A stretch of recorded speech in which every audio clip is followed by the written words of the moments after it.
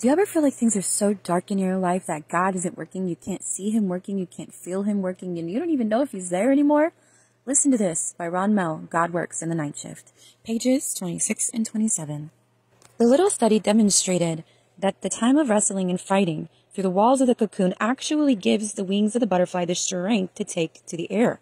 The very struggle, all of the pushing and thrashing of the insect to free itself from restraint is what makes its new life possible.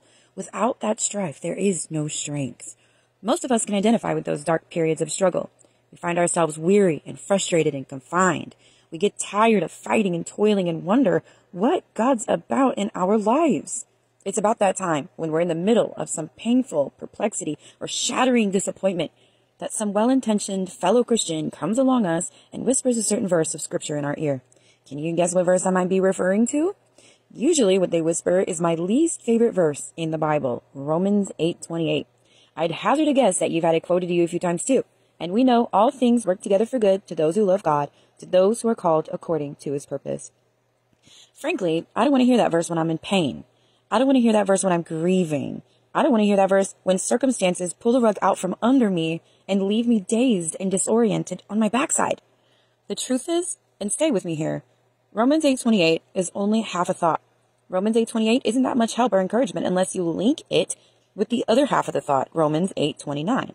The very reason for verse 28 is verse 29.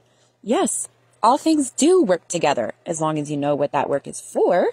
Yes, we're called according to his purpose, but what is that purpose? Verse 29 makes it clear. For whom he foreknew, he also predestined to be conformed to the image of his son, that he might be the firstborn among many brethren. So, what is God working at in my life? What's God up to in your life? He's up to one thing and only one thing. He's making you and me more like his son. Period.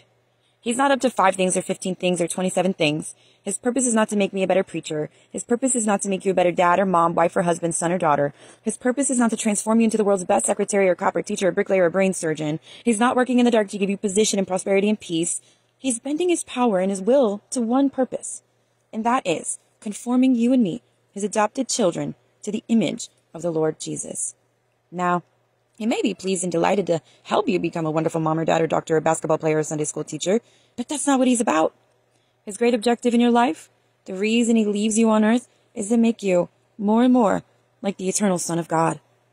Otherwise, why wouldn't he shoot us a quick ticket home to heaven as soon as we receive salvation in Christ? Why wouldn't he save us the heartache and pain? He wants us to become mature in Christ, full and complete.